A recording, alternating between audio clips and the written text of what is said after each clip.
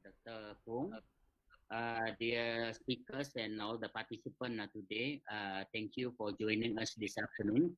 And I think, uh, first of all, I would like to congratulate uh, to Prof. And the team uh, for their endless effort to enhance the online learning process in our university. Uh, this is uh, particularly critical during the pandemic era, whereby in these uh, few months, we have been struggling to find ways uh, to sustain the delivery process. I believe uh, this team will continue to strive not only to help us with teaching and learning process, uh, but also to find uh, innovative ways to accomplish our tasks in this university, particularly in uh, teaching and uh, learning.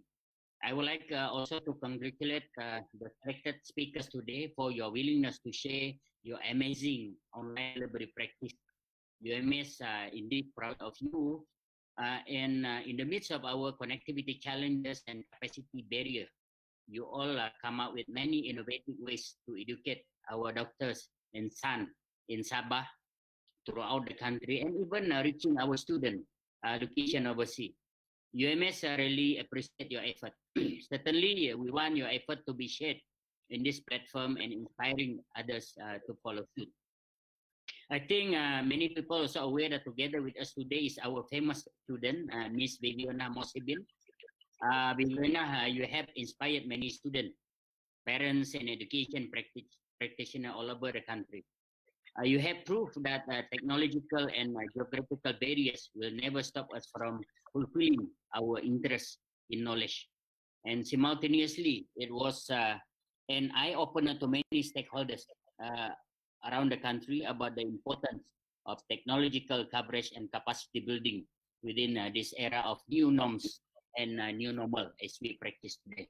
Ladies and gentlemen, uh, the teaching and learning process in the university is no longer conceptualized in its traditional uh, framework. Uh, rather, is what we usually practice before uh, PKP era. It is uh, very challenging and demanding now. We are forced to ensure achievement of our learning outcome is what we used to call CLO, maintaining quality assurance and competing with budget within a budget constraint.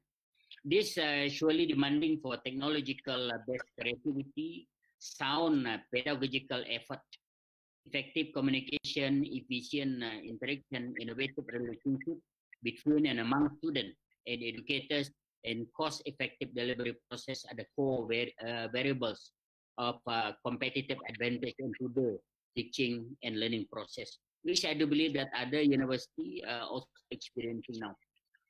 Therefore, today launch of our very own uh, TEL platform, uh, technology enabled learning platform.